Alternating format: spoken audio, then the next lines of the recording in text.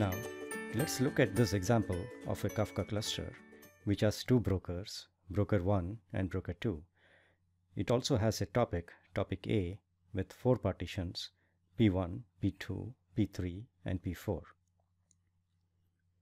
Now let's say we have four consumers, each of which is listening on the topic, topic A. Consumers logically belong to a consumer group. But if you do not specify a consumer group for a consumer, a unique consumer group is assigned to the consumer. So in this case, each of the consumers will have its own consumer group. So let's say consumer 1 is assigned to consumer group 1, consumer 2 is assigned to consumer group 2, consumer 3 is assigned to consumer group 3, and consumer 4 is assigned to consumer group 4.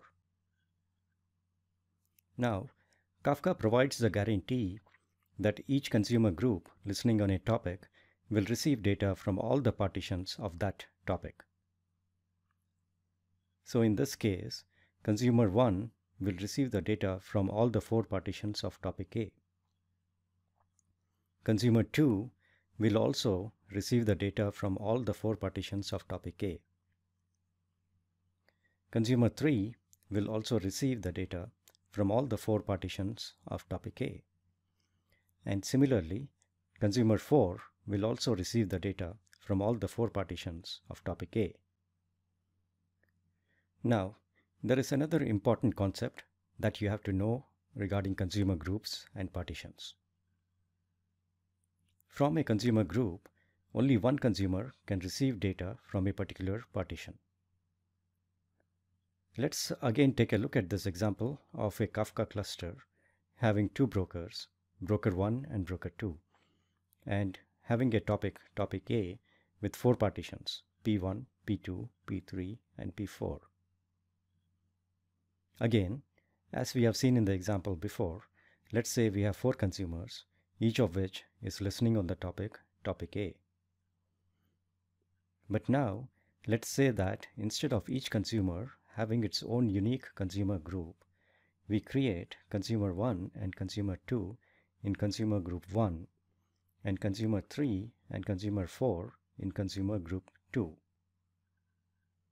So there are two consumer groups, each consumer group having two consumers and both consumer groups are listening on a Kafka topic, topic A, and topic A has four partitions, P1, P2, P3, and P4. Now, if you look at how the data is consumed by the consumers, it may be similar to this. From consumer group 1, consumer 1 receives data from partitions P1 and P3, and consumer 2 receives data from partitions P2 and P4. From consumer group 2, consumer 3 receives data from partitions P1 and P3 whereas consumer 4 receives data from partitions P2 and P4. As you can see, two consumers from a consumer group never receive the data from the same partition at the same time. This is an important concept and keep this in mind as we continue with the course. Now, let's slightly modify our example. Let's say all the four consumers now belong to the same consumer group. In that case, each consumer receives data from a separate partition. Consumer 1 receives data from partition 1. Consumer 2 receives data from partition 2. Consumer 3 receives data from partition 3. And consumer 4 receives data from partition 4. Now, let's look at another important concept called rebalancing. In this example, let's say one of the consumers, say consumer 4, has an issue and is shut down. Now, partition 4 does not have a consumer in consumer group 1. In this case, Kafka rebalances the consumers such that another consumer starts listening to partition 4.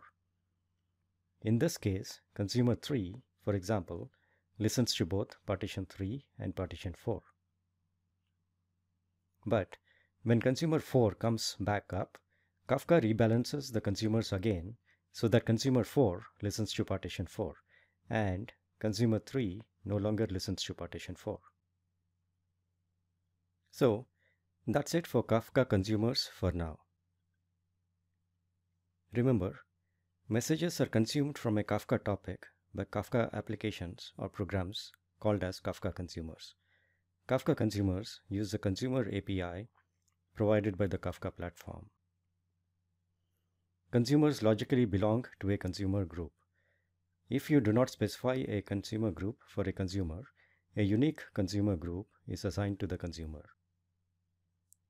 Two consumers from a consumer group never receive the data from the same partition at the same time. Kafka rebalances consumers whenever a consumer is shut down or a new consumer is added to the consumer group. So I will see you in the next lecture where we will wrap up this section by talking about Zookeeper. So hope you found this video useful and if you want to check out the course, the link to the course is provided in the description below.